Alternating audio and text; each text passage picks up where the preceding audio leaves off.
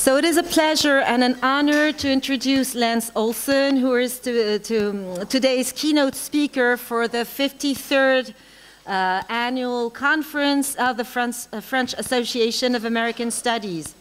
The recipient of many fellowships and awards, among which a Guggenheim Fellowship, the Berlin Prize in Fiction, the Rockefeller Bellagio Center. Lance is professor of literature and creative writing at the University of Utah in Salt Lake City. He's also a prolific writer and has written more than 30 books. Uh, 17 novels, the latest entitled Skin Elegies, published in 2021, and that has been expanded into a multimodal collaborative installation. Also, five collections of short stories, so far so good, and many essays, so far so good, and two anti-textbooks. Intent on offering inno innovative fiction as an antidote to codified categories and mainstream canon. Lance's work, both fictional and critical, not only exhibits the materiality of language, but also erases the borders between the written word and corporeality, blending the written, the visual, the sonorous in hypermedia versions of some of his texts, for example, his novel 1001. And by the multimodal, hypermedial collaborations with video and assemblage artist Andi Olsen. Lance is also one of the recurrent participants in the Biennial uh, and Now Festival, and he used to be, I think, chair of, of the board of directors of Fiction Collective 2, which was founded in 1974 and uh, which is run by authors wishing, and I'm going to quote Ronald Sukenick, to make serious novels and story collections available in simultaneous hard and quality paper editions and to keep them in print permanently.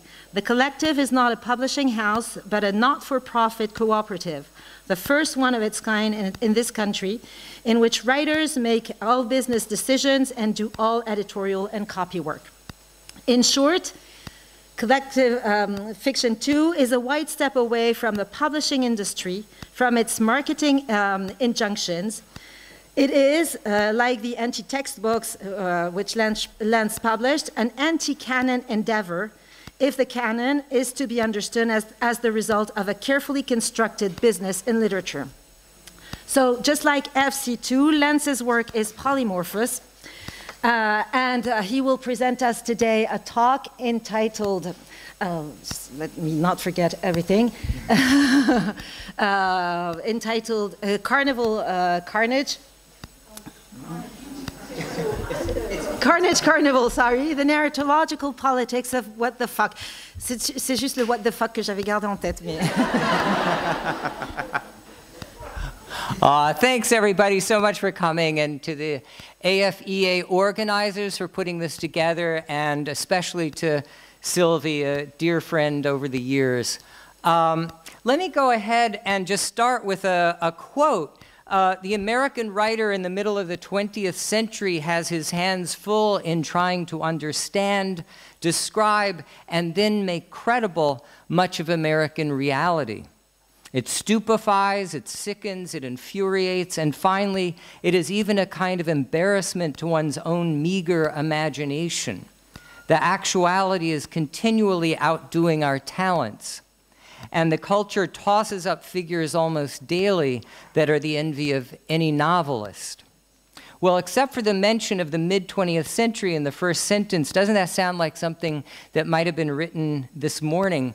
Um, probably was written this morning by somebody um, as he or she doom scrolled through today's news over the first cup of coffee. In fact, though, it appeared 61 years ago, March 1961, in an essay by Philip Roth, published in Commentary, the leading post war journal committed to constructing Jewish identity in the U.S. following the Holocaust.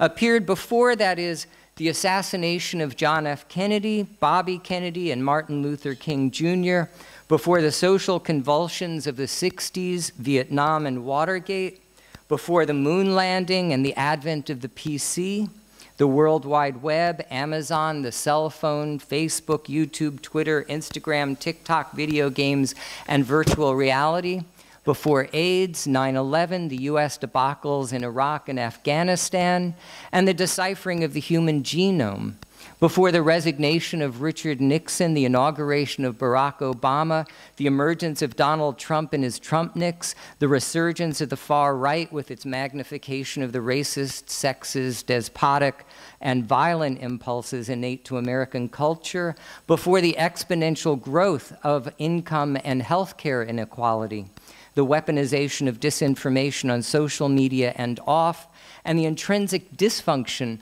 of our political and academic systems. And now look at us. This afternoon, we might be tempted to say much of what I just listed strikes us as a little quaint in its ability to shock, befuddle, and enrage even as we find ourselves in the midst of a pandemic that, according to the World Health Organization, has already claimed 15 million lives worldwide and become the third leading cause of death in the US last year. In the midst of a redefinition of geopolitics with a renewed spotlight on the horrific realities of refugeeism in response to Russia's brutal invasion of Ukraine, led by a general whose nickname is the Butcher of Syria um, and on the brink of a climate catastrophe, which may well be too late to stop and which has prompted some think tanks to begin pondering the question how can we learn to adapt to our own extinction? And for the past 22 years, the American West, where I live and work, has suffered a mega drought sparked by that catastrophe.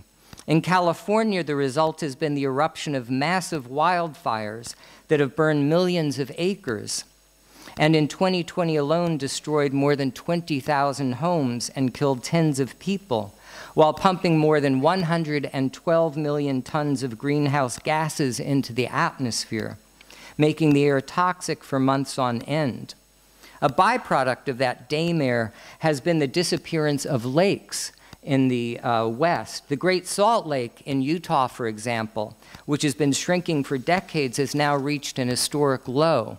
And if the trend continues, and there's no reason to suspect it won't, scientists predict it will evaporate entirely within the next decade or so. And if that happens, clouds of arsenic dust concentrated in a dry lake bed will blow into Salt Lake uh, on a regular basis, uh, and prolonged exposure will lead to greatly increased rates of lung cancer. So, another way of saying this, things will get a lot worse before they get a lot worse. The scale implicit in Roth's observation, in short, has changed spectacularly. What once seemed huge has been recalibrated by the events of the last, say, quarter century. Richard Powers' uh, 2018 eco novel, The Overstory, which I understand was just, just talked about, um, about nine Americans whose relationship with trees invites its readers to contemplate the destruction of our forests and the grim implications of that loss, is emblematic of this transformation. The novel's first of three sections, Roots, is initially told on the time span of trees rather than human beings, an exceptional move.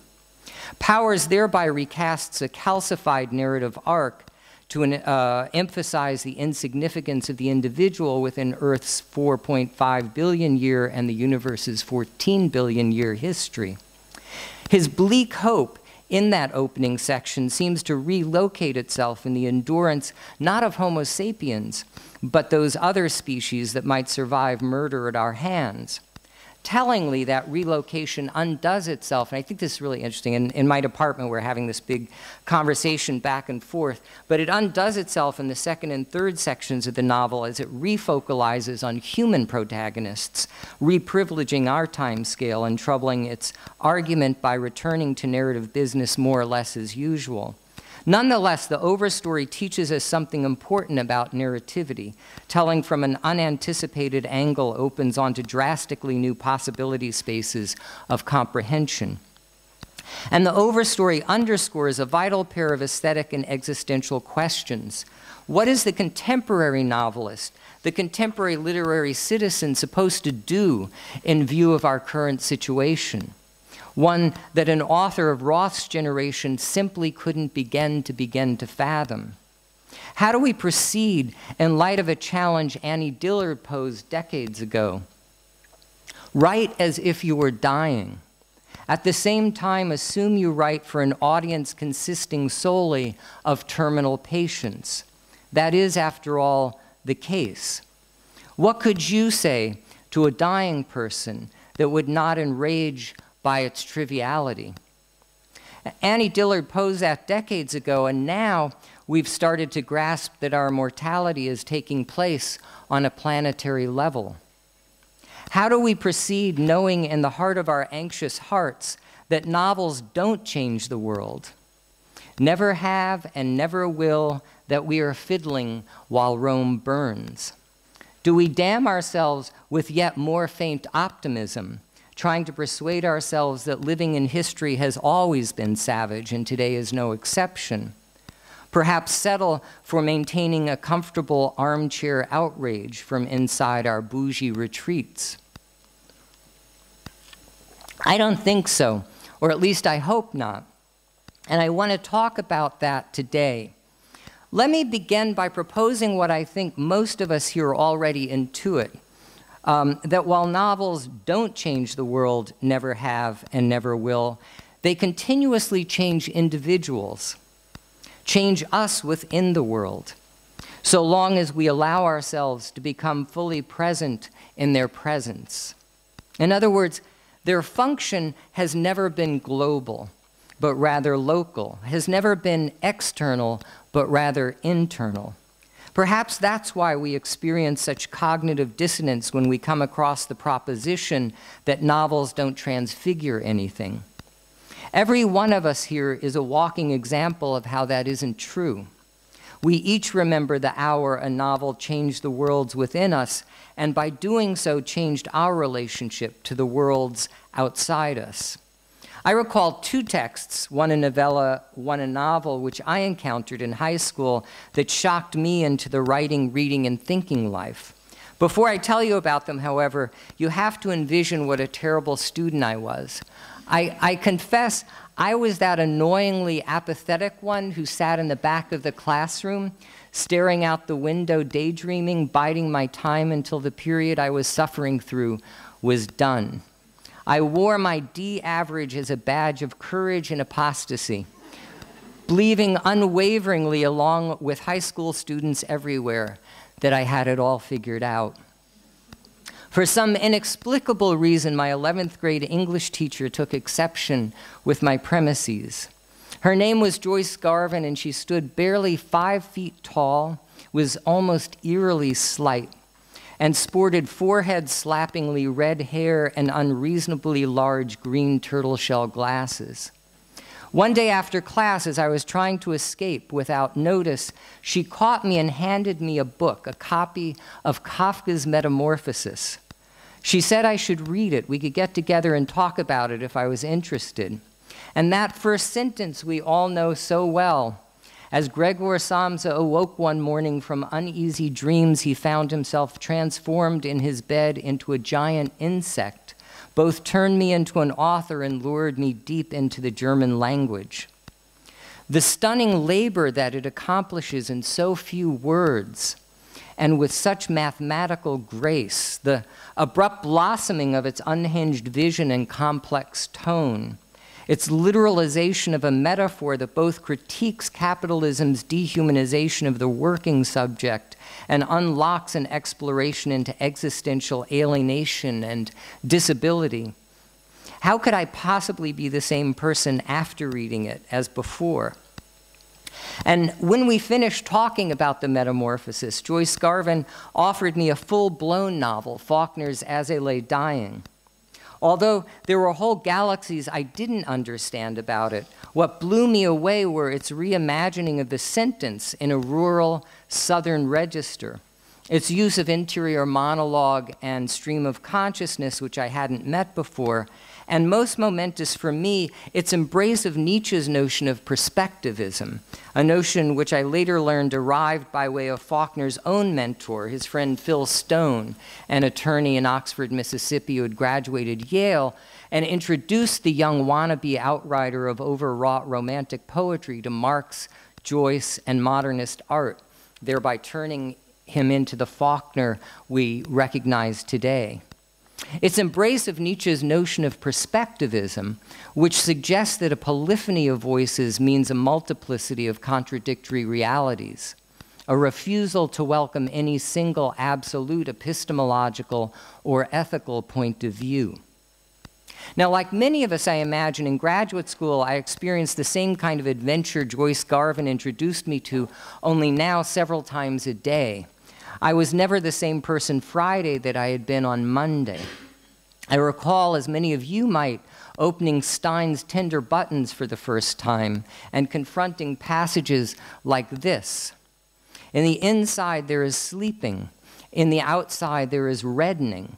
In the morning, there is meaning. In the evening, there is feeling. In the evening, there is feeling. In feeling, anything is resting. In feeling, anything is mounting. In feeling, there is resignation. In feeling, there is recognition. In feeling, there is recurrence, and entirely mistaken, there is pinching. All the standards have steamers, and all the curtains have bed linen, and all the yellow has discrimination, and all the circle has circling. This makes sand. um, and it's that sort of encounter which taught me how to realize I was standing before the experimental. The sparkling provocation up and down the spine to reinvent a new discourse with which to discuss the new event. In Stein's case, that had to do in part with how she deployed linguistic illegibility to create the impression of micro-arguments. Here, the last sentence indicates by its form it has arrived at a conclusion that obviously doesn't exist. While undoing logic, the essence of argument, which is to say the essence of Enlightenment hope, through the use of a kind of paragrammar, where word clusters look like sentences, engage with the syntax and other trappings of sentences, verbs, nouns, and so on, yet, yet refuse to function as units of meaning. To put it otherwise, trying to navigate a line by Stein is to enter an anti teleological activity, a zone of perpetual suspension, a process of unlearning everything I once took for granted about language and literature and the world. So, what was it that I responded so, so deeply um, in such distinct modernists? And how does that commence addressing at least one corner of the question I posed at the outset of this talk? Well, last semester I taught, as I regularly do, a course on modernist intellectual and aesthetic history, in part to thank literary, theoretical, musical, filmic, dance, and artistic texts that have meant so much to me over the decades. And the first book we read, which may seem surprising, is Homer's The Odyssey. Um, and the first large question I posed to my students was why so many modernists, from James Joyce to Virginia Woolf and William Faulkner, gravitate toward it. So many of the modernist texts are actually, in one way, shape, or form, a retelling of, of the Odyssey. And one reason I offer has to do with its deep structure philosophy that rhymes with one aspect of Heidegger's. Heidegger argues that while many of us want to believe that being at home is the fundamental human condition, living proves furiously otherwise. That not being at home is the much more fundamental one. The Odyssey isn't, as we usually tell ourselves, about Odysseus reaching the Ithaca of the mind. Rather, it is about how the Ithaca of the mind can never be reached. Settling down is just a rumor in Odysseus's rented world.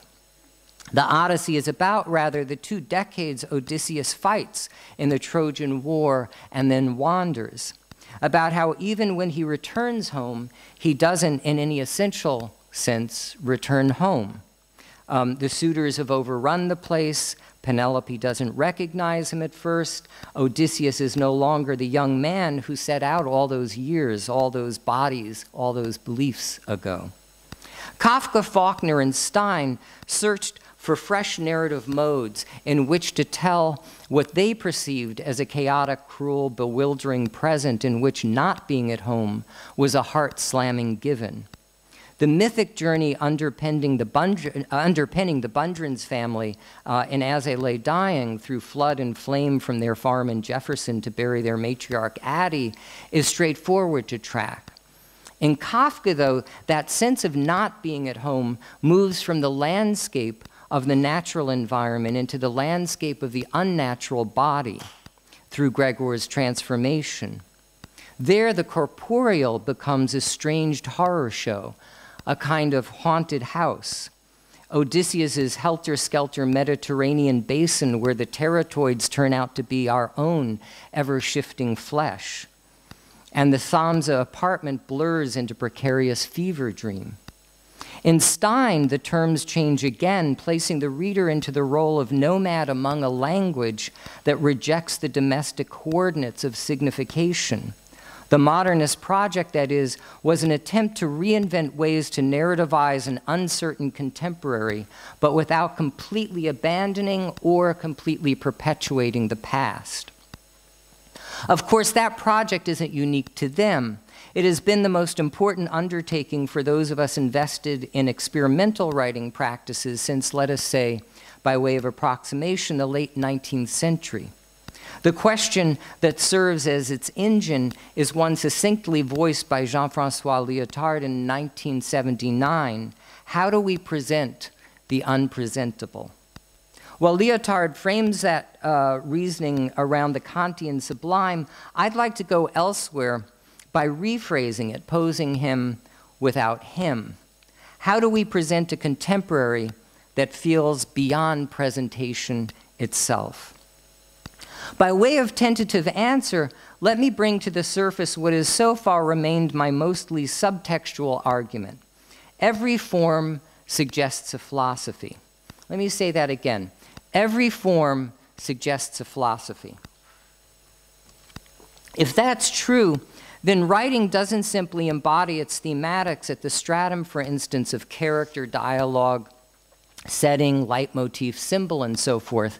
The textual loci we have become habituated to uncover and explicate, but also at that of structure itself, which is to say, among the architectonics of everything from story organization to page design, image layout, sentence construction, font choice, and other cultural interpretive invisibles. It seems untenable to repeat ossified forms as much as it does to repeat ossified conceptions of character, which is to say ossified conceptions of selfhood. Arrangement, which is to say ossified conceptions of epistemology and telos. Setting, which is to say ossified conceptions of the world.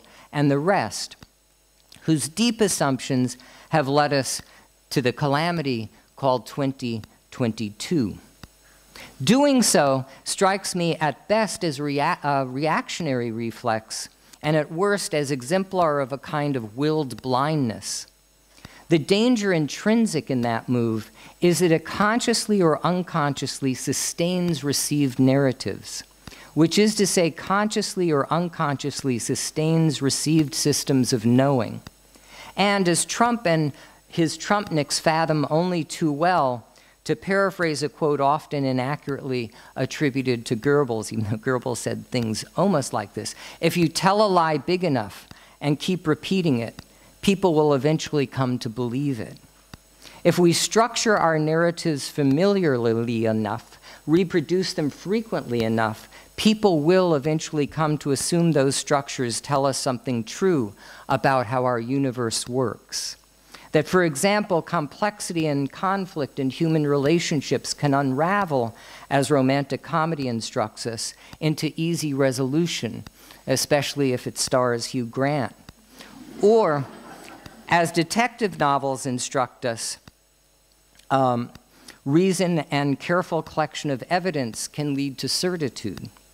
Or the plot arc of life, as many memoirs instruct us, is fundamentally fundamentalist Christian in nature, a fall from innocence into sin that leads through tribulations to redemption. Yet don't the catastrophes I mentioned above, this carnage carnival in which we are complicit, imply rather that our cosmos arrives as shrapnel, not logic or illumination? and that the only telos we can be sure of is a continuous anti teleological condition of flux, uncertainty, and question till death do us part. The feeling is akin to the sense you sometimes get when rapidly surfing the web and ongoing disorientation followed by orientation followed by disorientation in a data hurricane.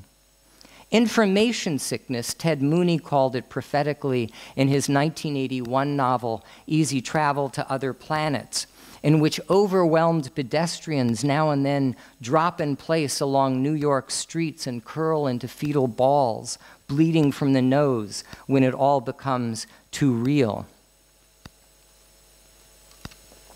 We disrupt narrative structure not because it's fun, though it most definitely is that and not because it's gimmicky. It most definitely isn't that.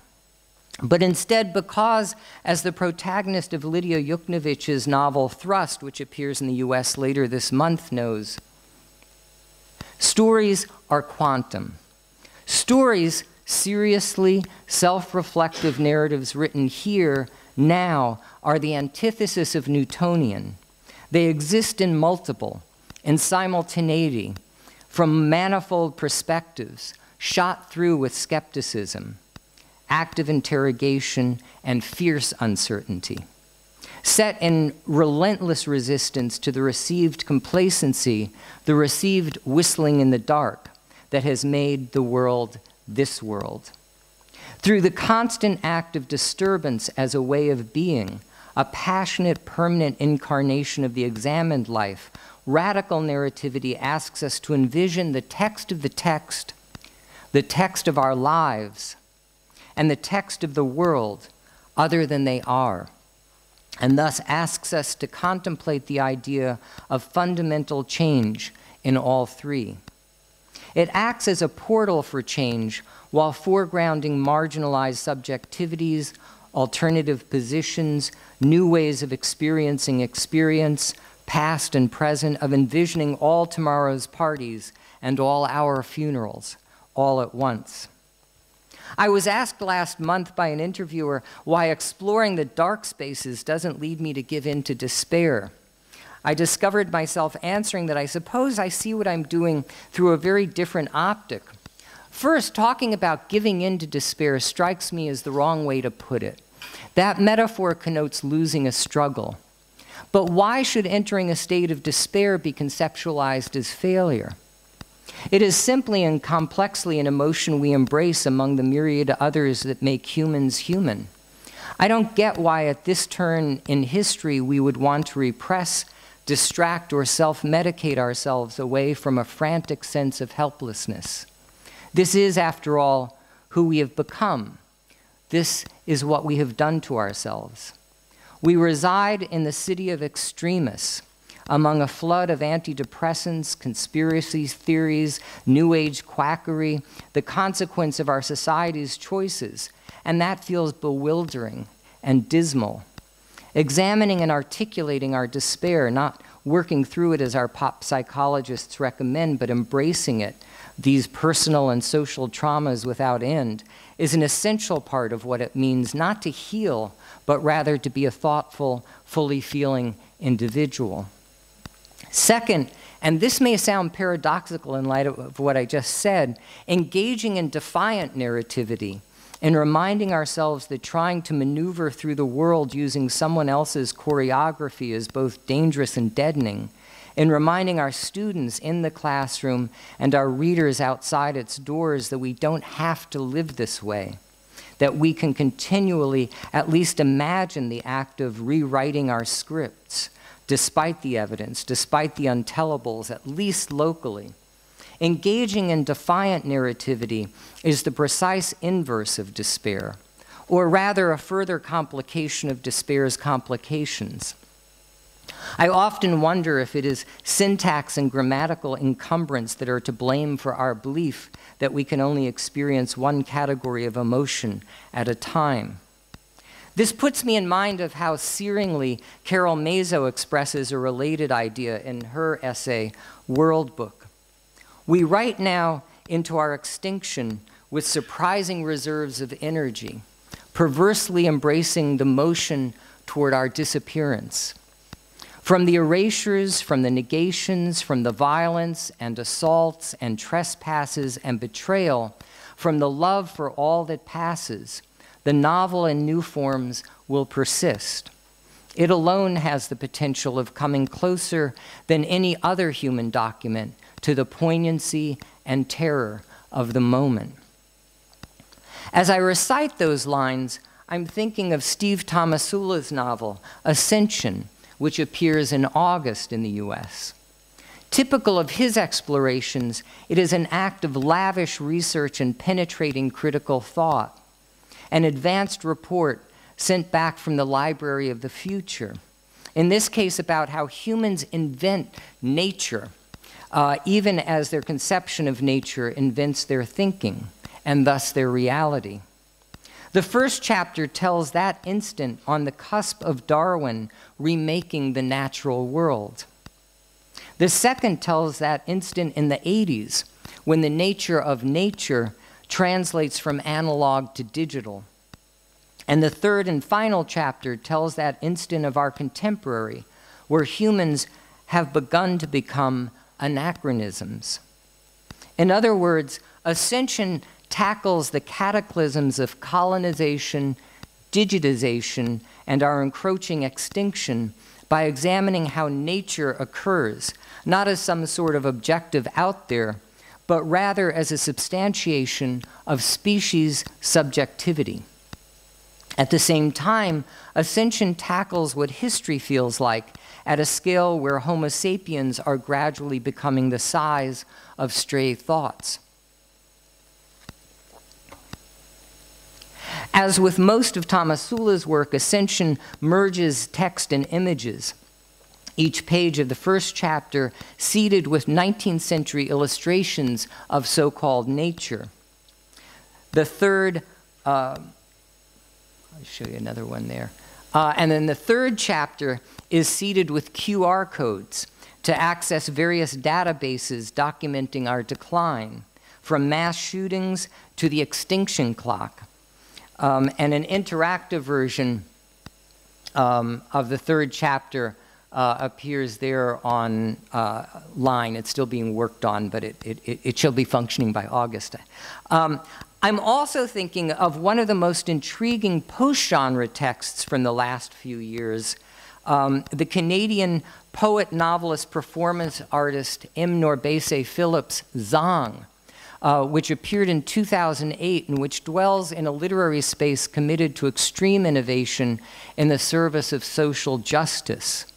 Zong untells the narrative of the eponymous merchant ship that in 1781 sailed from the west coast of Africa with 442 slaves and 17 crew members on board. Due to poor navigation, the usually nine week voyage ended up taking twice that long. The result was water ran short and sickness proliferated. To preserve some of what the captain called its African cargo, the crew began to throw ill slaves overboard. Many of those still in good health, witnessing the massacre before them, committed suicide by throwing them, uh, themselves into the sea. So, somewhere between 130 and 150 drowned. Upon the ship's arrival in Jamaica, its owners made a claim to the British use, uh, insurers for a loss of cargo. The insurers refused to pay. The case went to trial, and the judgment came back that the deliberate uh, killing of slaves was legal. Consequently, the insurers were obliged to pay out. There is no telling this story. Phillips launches her essay on how she came to write Zong. How, she asks, does one go about narrativizing the unimaginable? Her answer is to take on the legal document from the trial, the judicial, institutional, so called rational version of what transpired, and to detonate it across Zong's pages dismantling its language and presuppositions, both at the levels of thematics and form, as she termites forward into a text comprised of six smaller ones a glossary, the ship's fictitious manifest, um, and Philip's own notes about her unwriting. The outcome is, uh, she says, in equal parts song, moan, shout, oath, ululation, curse, and chant.